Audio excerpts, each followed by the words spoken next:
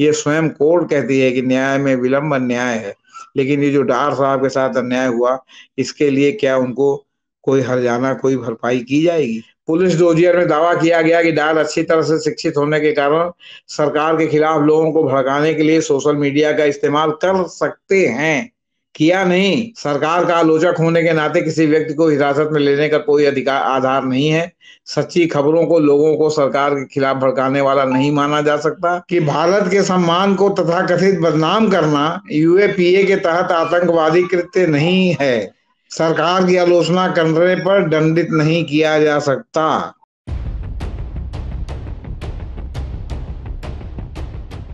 अंबेडकर नामा पर आपका स्वागत है। मैं हूँ JP Singh.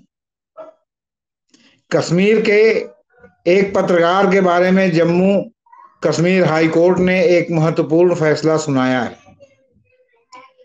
Jammu Kashmir high court court ने कश्मीरी पत्रकार की हिरासत को रद्द करते हुए कहा है कि सरकार के आलोचकों को हिरासत में लेने की प्रिवेंटिव डिटेंशन कानून का दुरुपयोग है। यही नहीं, कोर्ट ने यह भी कहा है कि भारत के सम्मान को तथा कथित बदनाम करना यूएपीए के तहत आतंकवादी कृत्य नहीं है। सरकार की आलोचना करने पर दंडित नहीं किया जा सकता। ये बहुत महत्वपूर्ण फैसला है और हिरासत को जम्मू कश्मीर और लद्दाख हाई कोर्ट ने रद्द कर दिया है। लद्दाख हाई कोर्ट जम्मू कश्मीर और लद्दाख हाई कोर्ट ने कश्मीरी पत्रकार सज्जाद अहमद डार की हिरासत को रद्द करते हुए कहा है कि केवल सरकार के आलोचक होने के कारण व्यक्तियों को हिरासत में लेने की, अधिकारियों की प्रवृत्ति की निंदात्मक है और इसे निवारक हिरासत कानून, माने प्रिवेंटिव डिटेंशन कानून का दुरुपयोग की संज्ञा दी।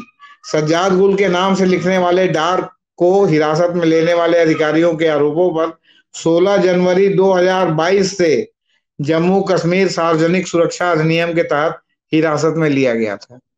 उनके ट्वीट और बयान कहा, और कहा गया था कि उनके ट्वीट और बयान दुश्मनी को बढ़ावा देते हैं और राज्य की व्यवस्था और सुरक्षा के रख रखाव के लिए प्रतिकूल हैं। आरोपों के बिना किसी विशिष्ट उदाहरण के अस्पष्ट और सामान्य पाते हुए हाईकोर्ट ने डार की तत्काल रिहाई का आदेश दिया है।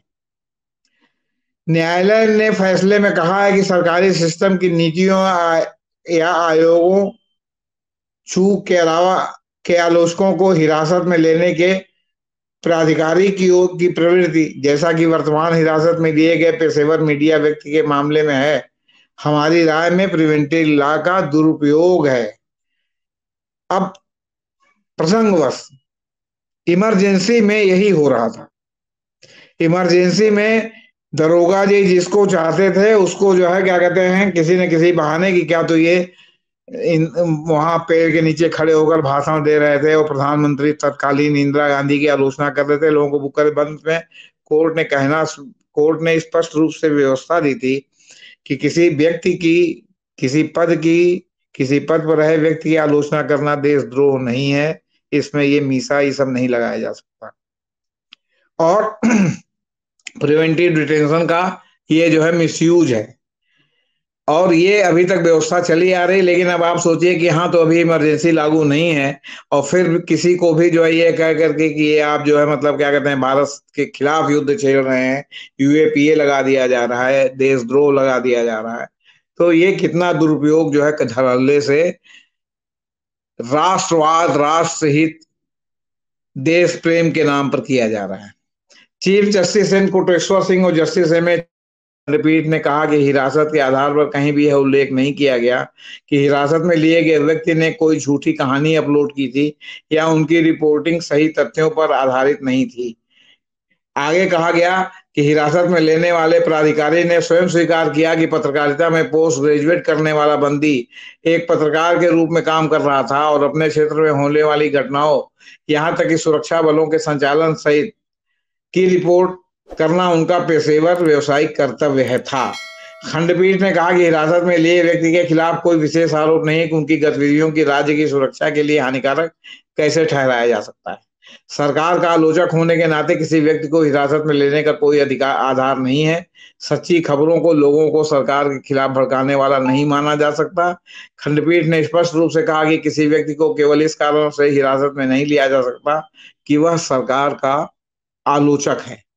हिरासत में लेने वाले प्राधिकारी ने पाया कि हिरासत में लिया गया व्यक्ति केंद्र शासित प्रदेश जम्मू कश्मीर की सरकार की नीतियों का आलोचक है और उसके ट्वीट लोगों को सरकार के खिलाफ भड़काते हैं। खंडपीठ ने कहा कि यह किसी व्यक्ति को हिरासत में लेने का आधार नहीं हो सकता। खंडपीठ ने यह भी कहा कि यह इस बात पर भरोसा करने का आधार नहीं हो सकता कि एक सच्ची और तथ्यात्मक मीडिया रिपोर्ट लोगों को सरकार के कामकाज के खिलाफ भड़का सकती है। वह भी बिना किसी विशेष उदाहरण के कि कैसे उनके ट्वीट से कोई समस्या पैदा हुई। सार्वजनिक व्यवस्था तो दूर की बात, सरकार के साथ समस्या है। हिरासत के आधार में यह भी उल्लेख किया गया कि एक पत्रकार के रूप में हिरासत में लिए गए व्यक्ति द्वारा समाचार अपलोड करने से सरकारी मशीनरी के खिलाफ शत्रुता और कटुता पैदा हुई है। हालाँकि इसका कोई विशेष उदाहरण या एग्ज़ाम्पल नहीं दिया गया। कोर्ट ने आगे कहा कि पोस्ट आबलिक लेख ऐसे हैं कि किस तारीख के हैं। प्रक्रियात्मक उल्लंघनों ने अनुच्छेद बाईस पाँच का उल्लंघन किया। खंडपीठ ने कहा कि कोई प्रक्रियात्मक उल्लंघन भी नहीं हुआ है। कई प्रक्रियात्मक उल्लंघन भी हुए हैं। हिरासत में लिए गए व्यक्ति को सभी प्रासंगिक सामग्री जैसे डोजियर, एफआईआर, गवाहों के बयान और अन्य संबंधित दस्तावेज़ जिसमें उनके सोशल मीडिया अकाउंट पर कथित पोस्ट भी शामिल है, प्रदान नहीं किए गए, जो न केवल हिरासत में लेने वाले प्राधिकारी के लिए, बल्कि उसकी नजरबंदी के खिलाफ सरकार के उचित रिप्रेजेंटेशन करने के लिए भी प्रासंगिक हैं। इसके अलावा बंदी के खिलाफ दर्ज की गई तीन एफआईआर का पूरा रिकॉर्ड और हिरासत में लेने वाले प्राधिकारी द्वारा हिरासत में लिए गए प्रिवेंटन, प्रिवेंशन डिटेंशन के आदेश के संबंध में अपनी संतुष्टि प्राप्त करने के लिए जिस पर भरोसा किया गया, वह बंदी को प्रस्तुत या बंदी को नहीं दिया गया। इसके परिणाम स्वरूप संविधान के अनुच्छेद बाईस पाँच के तहत संवैधानिक अधिकारों का उल्लंघन हुआ। अदालत ने कहा कि संपूर्ण दस्तावेजी रिकॉर्ड उपलब्ध कराने के अभाव में हिरासत में लिए गए व्यक्ति को अपनी हिरासत के खिलाफ प्रभावी और सार्थक प्रतिनिधित्व करने में सक्षम नहीं कहा जा सकता है, जो उसका वैधानिक और संवैधानिक अधिकार है। पुलिस डोजियर में दावा किया गया कि डाल अच्छी तरह से शिक्षित होने के कारण सरकार के खिलाफ लोगों को भड़काने के लिए सोशल मीडिया का इस्तेमाल कर सकते हैं। किया नहीं, कर सकते हैं। मैंने भविष्य में जो है, वो क्या कहते हैं, कर सकते हैं। उसकी आशंका में गिरफ़्तार कर लिया एक पत्रकार होने के नाते उन्होंने जम्मू कश्मीर के कल्याण के बारे में रिपोर्टिंग करने के बजाय शत्रुता को बढ़ावा दिया गया, ऐसा आरोप लगाया गया। एफआईआर में यह भी आरोप लगाया गया कि उन्होंने 14 दिसंबर 2021 को अपने पैतृक गाँव में राजस्व विभाग के अतिक्रमण अभियान में बाधाएँ पैदा की। अन्य एफआईआर में आरोप लगाया गया कि वो सुरक्षा बलों के मुठभेड़ अभियान के बारे में झूठी और फर्जी कहानी फैला रहे थे। तीसरी एफआईआर में आरोप लगाया गया कि उन्होंने तेरह जनवरी 22 को श्रीनगर में सुरक्षा बलों द्वारा एक मुठभेड़ अभियान के बाद लोगों द्वारा लगाए गए देशी विरोधी नारे, देश विरोधी नारों को उजागर करते हुए सोशल मीडिया पर एक वीडियो अपलोड किया। हाईकोर्ट ने कहा कि हिरासत के आधार अस्पष्ट हैं और हिरासत में लेने वाले प्राधिकारी ने अपने विवेक का इस्तेमाल नहीं किया। यह भी नोट किया गया कि हिरासत में लेने वाले प्राधिकारी ने यह उल्लेख करना छोड़ दिया कि डार को एक मामले में जमानत दी गई। अब आप सोचिए कि 2022 से वो व्यक्ति जेल में है और 23 में नवंबर में उसकी जमानत हो रही है, उसको रिहा किया जा रहा है। तो इतने दिन तक वो जो जेल में रहा, जो उसके अधिकारों का हनन हुआ, उसका क्या? उसका कोई हिसाब है? हाईकोर्ट ने कहा, ऐसे स्पष्ट आधारों पर आधारित हिरासत आदेश टिकाऊ नहीं है, क्योंकि हिरासत में लेने वाले प्राधिकारी ने आदेश पारित करने से पहले हिरासत में लिए गए व्यक्ति की स्वतंत्रता को कम करके उसकी हिरासत, उसे हिरासत में रोकने का आदेश देने के लिए व्यक्ति पर संतुष्टि प्राप्त करने के लिए अपना विवेक नहीं लगाया, जो भारत के संविधान इक्कीस के तहत गारंटीकृत पोषित और मूल्यवान अधिकार है। हाईकोर्ट ने यह भी कहा कि संपूर्ण रिकॉर्ड दस्तावेज़ जिस पर बंदी को हिरासत में लेने का भरोसा किया गया, उसे दिया नहीं गया, उपलब्ध नहीं कराया गया। हिरासत के स्पष्ट आधार है, प्रभावी और सार्थक प्रतिनिधित्व करने का कोई अधिकार नहीं है।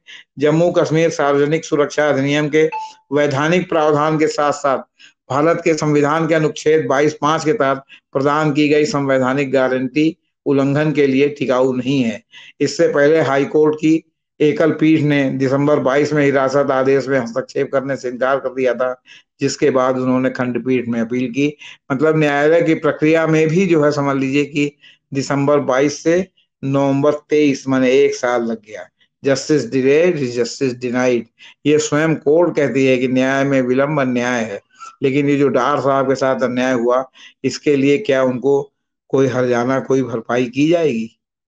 तो सवाल इस बात का है कि भाई वो कहते हैं ना, जो खाजाना भाई, जो पुलिस का है वो सही, जो खाजाना भाई, जो अधिकारी का है वो सही, इसके आधार पर लोकतंत्र नहीं चल सकता।